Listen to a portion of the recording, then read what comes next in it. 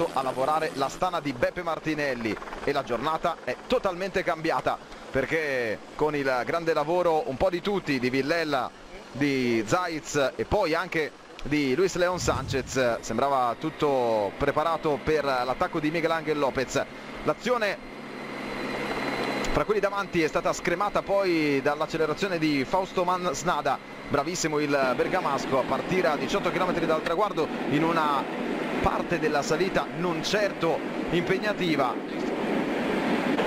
perché il momento decisivo era quello ai circa 4 km, 4 km e mezzo dalla conclusione.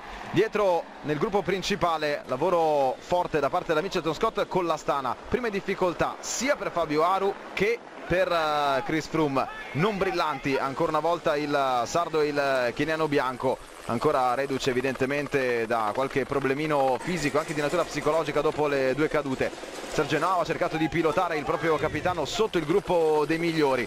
Ma naturalmente il ritmo è stato indiavolato nel finale con eh, un'accelerazione di Miguel Angel Lopez quella poi di Ciccone di Pozzovivo ma Yates ha controllato da padrone totale. L'andamento della corsa e negli ultimi 200-250 metri è andato a vincere senza problemi davanti a Thibaut Pinot e davanti ad Esteban Chavez che conferma di avere una grandissima gamba così come Domenico Pozzovivo e la conferma di Richard Carapaz vincitore a Montevergine di Mercogliano staccati di oltre un minuto. Invece Chris Froome e Fabio Aru che naturalmente vedono complicarsi la loro strada e il loro sogno rosa in vista di Roma.